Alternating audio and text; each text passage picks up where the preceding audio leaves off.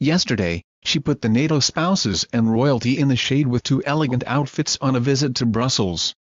And today Melania Trump, 47, pulled off another style triumph as she joined her fellow G7 spouses in Catania, Italy, in a $51,000 floral coat by Dolce & Gabbana, which was covered with colorful 3D flower embellishments, and came complete with a matching $1,630 purse by the Italian luxury label.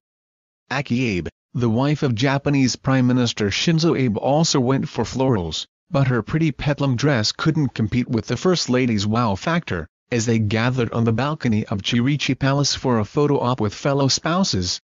Emanuela Mauro, the wife of Italian Premier Paolo Gentiloni kept it casual in a white tunic top and slim black trousers while Malgorzata Tusk, who is married to European Council President Donald Tusk, and Amanda Succi, partner of the mayor of Catania opted for red and blue shift dresses respectively. Elsewhere the new First Lady of France Brigitte Macron, 64, opted for a completely different look, dressing down in white skinny jeans, and a simple red jumper.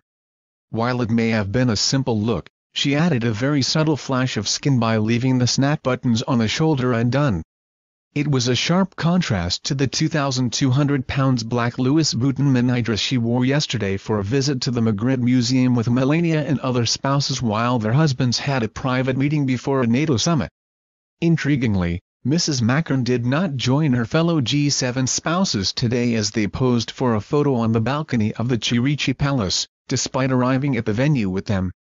Also among the party were Angela Merkel's husband Joachim Sauer, who dressed for the heat in a casual blue linen blazer, and the mayor of Catania, Enzo Bianco.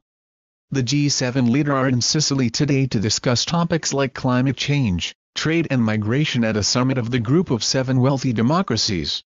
The other G7 leaders are Shinzo Abe of Japan, Italy's Paolo Gentiloni, Donald Trump, Theresa May and Angela Merkel. It is a forum made for Donald Trump's particular style. It is highly informal, highly interactive and they speak in very colloquial language to each other, said John Kirton, director of the G7 Research Group at the University of Toronto. It is the ultimate Lonely Hearts Club. No one understands how tough it is to have the top job except the peers with the top job in other countries. While Trump has met all of the leaders one-on-one, -on -one, this will be the first time all seven are around the same table. This includes also newcomers Emmanuel Macron of France, our own Prime Minister Theresa May and the Italian host, Paolo Gentiloni, forging a new dynamic after a year of global political turmoil amid rising nationalism. Later Mr. Trump and the First Lady will attend a G7 concert by La Scala Philharmonic Orchestra, and will join the other leaders and their partners for dinner.